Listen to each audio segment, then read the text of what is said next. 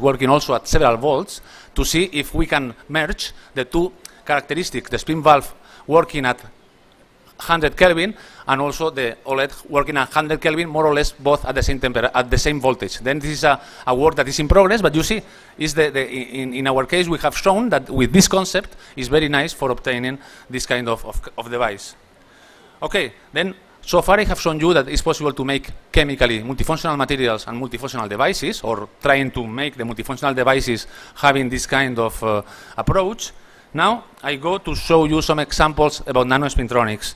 Then that is one of the trends now in spintronics to try to do the same but at the, at, uh, with one single uh, spin. Then this is a challenge now in, in current, current spintronics and people working in, in, molecules can solve also this kind of problem or can, or can produce some materials that can be of interest. One example that is interesting is the example of uh, spin crossover complexes. Spin crossover complexes, you see iron 2 is a D6 metal ion and then can be in low spin state or high spin state.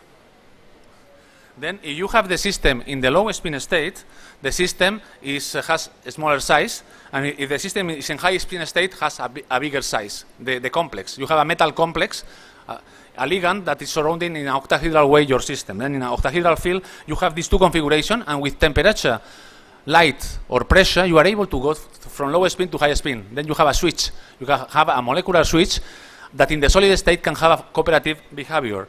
Then the idea is to see this, this, system has been studied in bulk long time ago by several people in, in bulk they were studying. Our idea has been to say, okay, can we make this kind of uh, devices in which we can change the spin, we can tune the spin with the temperature, for example, or with light or with pressure, but in the nanoscale, we can make nanoparticles that are still having this behavior, and then the, the answer is yes, and then what we try to do is this kind of complex, this is a polymer of iron 2 of with uh, triazole, and then we, we, were able to produce nanoparticles of 10 nanometers or 5 nanometers. We can change the, the, the, the size of the nanoparticle playing with the uh, experimental conditions using the the inverse micelle technique, then in that case, we were able to produce this kind of systems. You can see nanoparticles in uh, by dynamic light scattering around 10 nanometers, and also by TEM you can see the nanoparticles.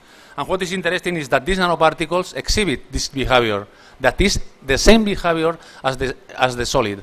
That means that at 10 nanometers the system is still presenting the same behavior as the bulk. Then it's quite nice because the system has memory. This is a memory system in which even for India, the temperature at which you have the transition is quite high. Then you see, you, you, the transition from low spin to high spin is, hap is happening at 380 Kelvin, then above room temperature. Then you can go from low spin, you can see low spin, and after you can see high spin. Then you can go from low spin to high spin, and back all the time, and you have a bistable system in which at uh, intermediate temperature, 340 Kelvin, can be coexisting in low spin and high spin. And it's what we have seen.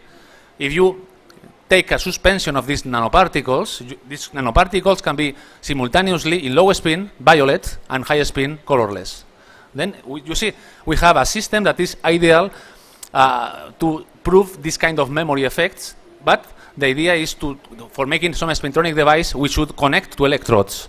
And the idea is to see if uh, the low spin, high spin uh, configuration is also producing a, low, uh, a kind of uh, difference in conductance. Then the low spin has a different electronic structure as high, spin, then we expect to have different contact, conductance properties. Then what we did, in collaboration with people in Delft, was to connect our nanoparticles in between two electrodes then using the electromigration technique, they were able to, to produce a kind of um, uh, two, well, two electrodes with a gap of 5 nanometers in which we have dropped our molecules, our nanoparticles, and then it's possible to drop uh, in some devices only one single nanoparticle, and what we observe is this behavior. You see, when in the gap there is nothing, the IV curve is completely horizontal. That means that there is no current passing through. But once you put uh, your nanoparticles, you have conductance. Then the particle is conducting. Through the nanoparticle, you have transport of electrons.